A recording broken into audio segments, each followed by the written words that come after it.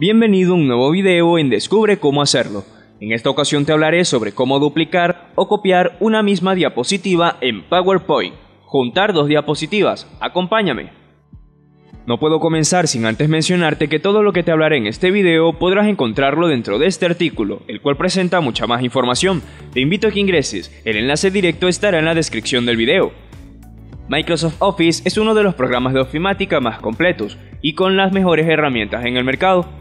Esta grandiosa plataforma cuenta con todo lo que necesitas para crear tus documentos laborales, ya sean archivos de cálculos, de edición, blog de notas, gestor de datos, escribir contenido e incluso crear tus propias presentaciones.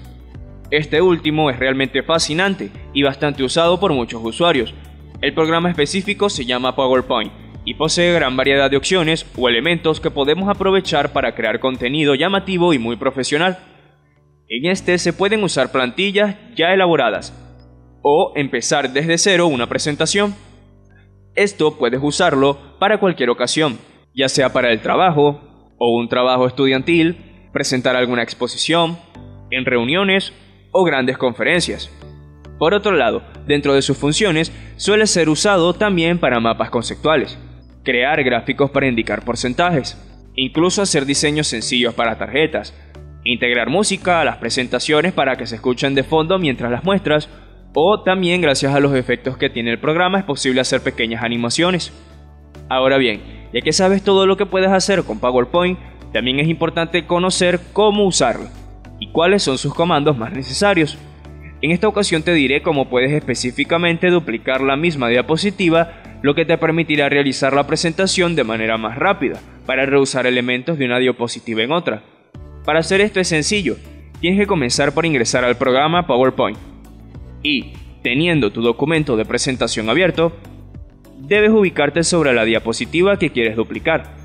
Seguidamente haces clic derecho sobre esta y presionas en copiar. En el área superior encontrarás la opción pegar. Debes pulsar allí y se realizará dicha acción. También puedes hacer clic derecho sobre la diapositiva y presionar en duplicar diapositiva o, si prefieres los comandos de teclado, recuerda que puedes copiar con control C, pero antes debes seleccionar la diapositiva. Presionas el comando y luego presionas control B para que éste se pegue. Es muy sencillo y fácil poder duplicar una misma diapositiva en PowerPoint.